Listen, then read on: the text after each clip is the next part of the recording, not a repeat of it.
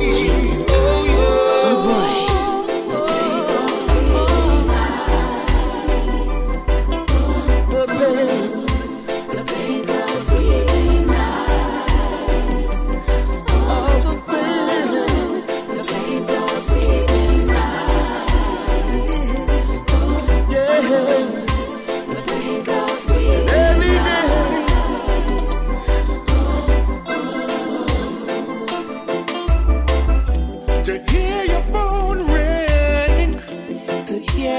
corner.